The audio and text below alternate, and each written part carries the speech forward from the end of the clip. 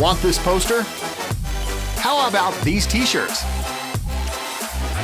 Go to stuntsamazing.com slash shop to get one before it's too late, or click on the link in the description below. Click here for more parkour, or here for our last video, and here to subscribe to Stunts Amazing.